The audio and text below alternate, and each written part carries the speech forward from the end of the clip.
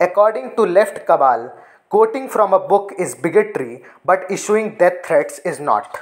A Hindu merely quoting some lines of this so called peaceful book must be condemned and should be given the badge of a bigot, but Muslims offering death and rape threats should be whitewashed by calling it an act of frustration.